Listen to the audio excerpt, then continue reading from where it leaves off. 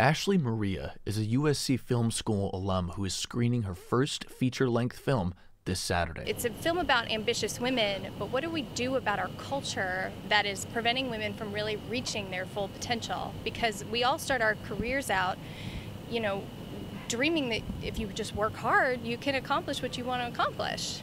Maria's film is called Pioneers in Skirts. It's a documentary about the struggles of being a woman in our economy and follows the life of a few women as they try to figure out their passions and careers. I try to do everything I can to make sure I complete that goal. Progress for women has stalled out over the last decade. The game is rigged. We're moving in the wrong direction. Nearly 40 other films will be screened along with Maria's at the Downtown LA Film Festival.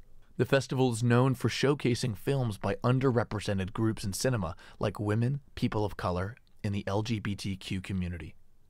Maria has advice for women in the film industry and beyond. Address it and say something.